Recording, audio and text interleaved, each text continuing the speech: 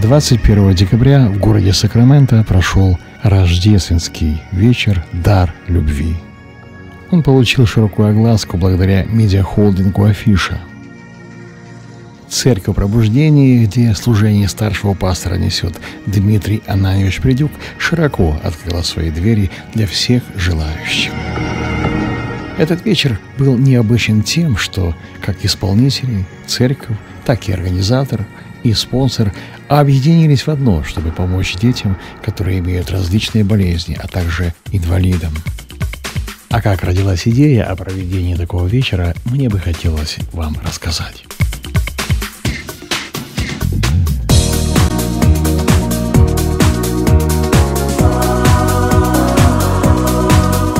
Около двух месяцев назад ко мне подошел один человек, автомобильная авария, которого заставила сесть на инвалидную коляску. Это Павел Ермолюк. С трудом выговаривая слова, протягивая фразы, он сказал, что хочет петь. Первая моя реакция была неадекватной. Я подумал, как он может хотеть петь, если он не может разговаривать но он оказался человеком настойчивым. Каждое воскресенье он все подходил, подходил и просил одно и то же. В очередной раз я увидел другого человека, человека, который поставил цель, и мало того, он сказал, что он молится об этом и хочет петь во что бы то ни стало. И уже спустя месяц в церкви на День Благодарения мы исполнили песню «Косари на лугу». За любовь и за милость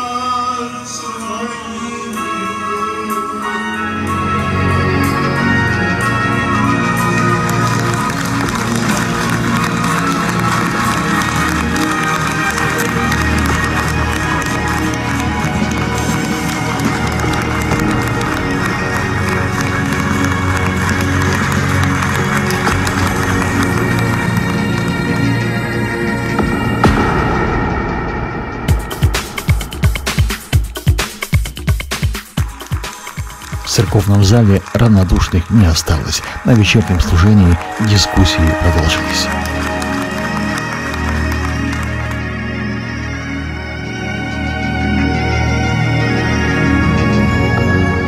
Десятки благодарных людей все подходили и благодарили за помощь, оказанную Павлу. «А что вы чувствовали, когда пел Павел?» – спросил я. Все в один голос сказали, «Мы прославили Бога, это чудо». По правде, я и сам не был уверен, что Павел сможет исполнить псалом на богослужении. На самом деле это чудо было очень простым, за что люди прославили Бога. Мы просто помогли человеку-инвалиду осуществить его мечту. Он же доказал нам в свою очередь, хотя он не полноценный человек со здоровьем, но полноценно, как и мы, хочет служить Богу.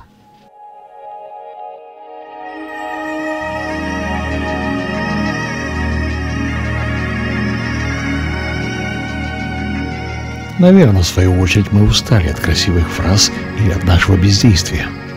И видя подобное, мы начинаем по-настоящему думать и вспоминать, кто мы.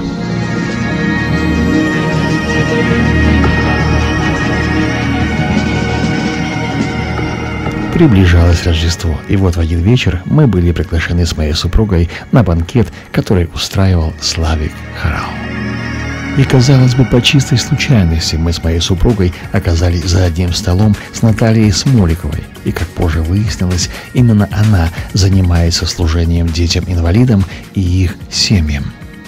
Познакомившись, мы долго общались на эти темы. Она рассказала, насколько важно в инвалиде видеть творение Божье, человека, которого создал Бог.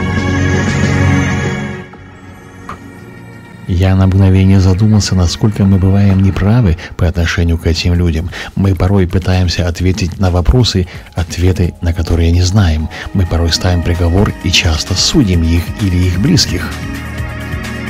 И сегодня всем вопрос к нам, людям здоровым, живущим на земле. Кого мы видим в коляске? Инвалида? Творение Божье? Или мы даем ответы на вопросы, на которые не имеем права давать?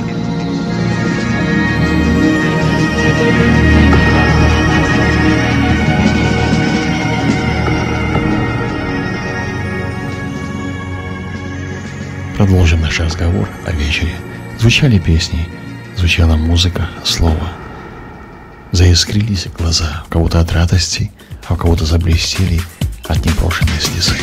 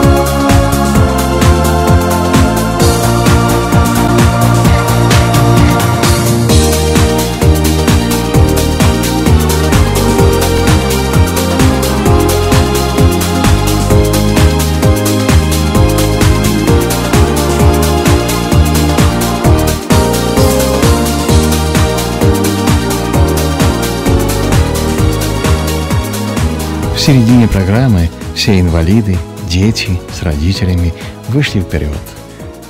И, конечно же, им были вручены подарки.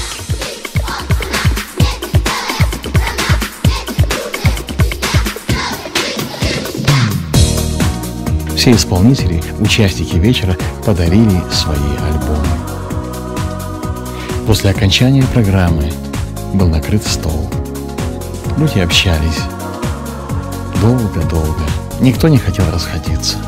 Кто-то изливал свою душу новым знакомым, кто-то фотографировался, а кто-то в уголочке просто молился.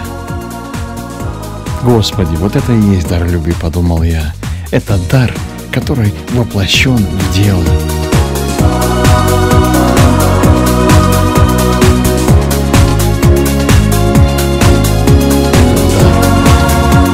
Ты дал эту любовь, Господи. Дай нам ее распылять этому миру, этим людям, которые так нуждаются в Твоей любви.